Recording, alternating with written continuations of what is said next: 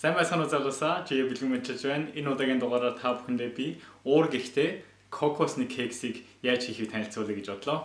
Энийг хийх болсон гол шалтгаан энэ кекс маань ялангуяа турхыг сонирхож байгаа, жингээ хасахыг сонирхож байгаа хүмүүст маш их хэрэгтэй зүйл. Нэгдүгээрт энэ уур гихтээ, а хоёрдугаарт энэ ямар ч нүүрс ус элсэн чихэр агуулаагүй зөвхөн чихэр орлуулагч оруулсан гэсэн үг. Өөрөөр хэлбэл юу гэсэн үг юм бэ гэхээр хүн нүүрс ус идэхээр инсулин гэдэг гормоныг биендээ ялгаруулдаг. Тэрнээсээ болоод хүн таргалдаг. А тэгхийн бол энийг хэрэглэснээрээ та ямар ч инсулин гэдэг гормоныг үүсгэхгүй буюу ямар ч таргалтын процессонд орохгүйгээр тэгсэн мөрлөөсөө нөгөө талаасаа кофе юм уу цай ууж байхдаа чихэрлэг юм идэх боломжтой гэсэн үг юм аа. За та бүхэндээ одоо орцын танилцуулъя.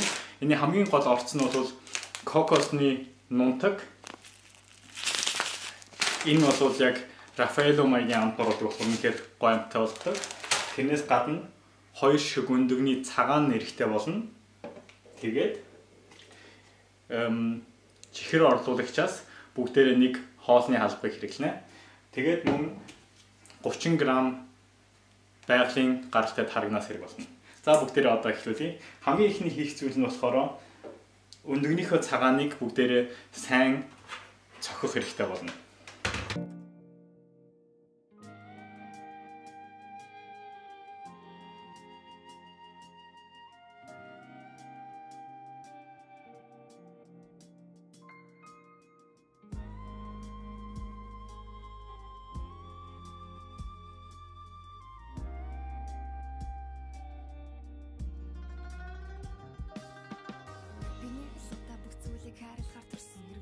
Өндөгнийхөө цагааныг чихэр орлогчтойгоо сайнтар холсч хутгаж согсны дараа иймэрхүү цагаан биетэй зүйл э, бий болсон байна. Энэ хизээ болсон бэ гэх юм бол ингээд буруу харуулхад дотроо наалдсан ямар ч тийм шингэнгүй болсон бол цагаан өндөгний цагаан маань бэлэн болсон гэсэн үг.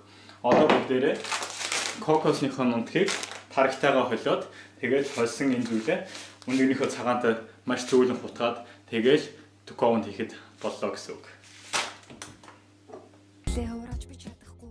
Кокосны нунтгаас 100 г хэрэгтэй. Харагнаас 30 г хэрэгтэй.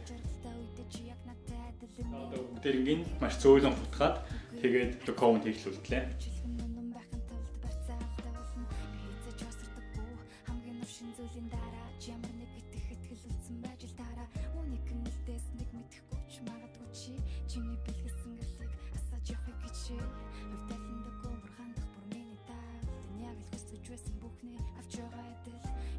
Шиг аашлах хасарт модон зайдгсан төсөрч болох амар тайван Утаг дамжуулж чамаа Одоо дэлхий ханагт чи хамгийн хэрэгтэй хүн Утаг дамжуулж чамаа Яг үчин байгаа хүн гэрэлгүй байж магадгүй тог дамжуулж чамаа Бидний хийсэн кокосны кекс маань ингээ бэлэн болсон байна. Та бүхэн анзаарч байгаа бох.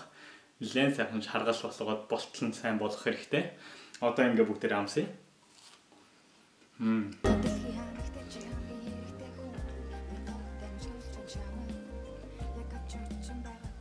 Хамтны хувьд бол үнэхээр яг л миний бодлоор бол кокос орсон болохоор яг Рафаэло шиг амтгаж байна. А тэгээд үнэхээр таныг тааргалуулахгүй ямар ч эсэн чихэр нүүрс усгүй зөвхөн кокосны нундаг тэгээд өндөгний цагаан орсон уураг ихтэй спортлог одоо кофе цай ууж байхдаа хэрэглэж болохоор үнэхээр дайггүй амттай кокос кекс болж та бүхэн туршаад үзээрэй. Амжилт